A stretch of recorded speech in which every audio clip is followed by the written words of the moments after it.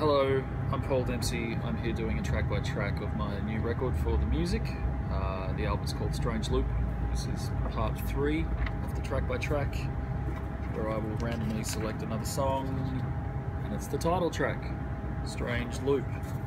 Um, which, uh, again, I was just talking about identity, um, the idea of the self. Um, and this song kind of uh, sort of deliberately confuses that with somebody else. There's there's sort of a, it's uh, there's a lot of talk around about uh, you know your true self or the real you, or that you're somehow on this path to finding the real you, uh, or getting in touch with your true self. And I don't know. Every time I hear stuff like that, I just think it's uh, a whole bunch of bullshit. Um, and that you pretty much who are who you are at any given moment.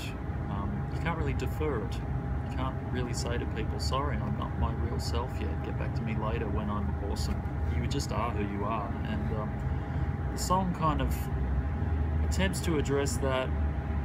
Also, sort of addressing the idea that, you know, what if you actually are what everybody else thinks of you and not what you think of you? Um, anyway, it's, it's a fun song. It's got some silly guitars on it.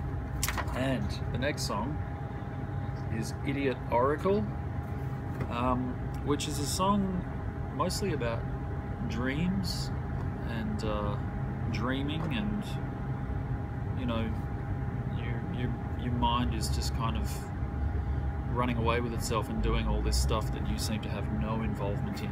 And you wake up in the morning and you go, What the hell was all of that?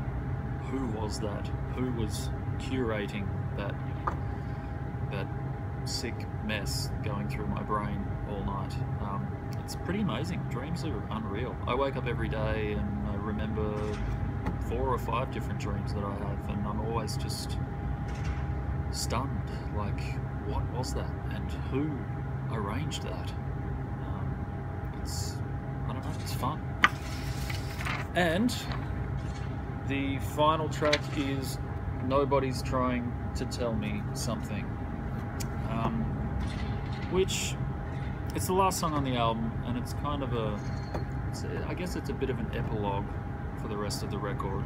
Um, sort of says that you know you're never as in control as you like to think you are, and you can't control everything around you as much as you like to think maybe you can. Um, but you're alive for however long, and you're gonna die, and there's not gonna be anything after this. So just try and enjoy yourself, and try to be good, try to have fun, try not to worry.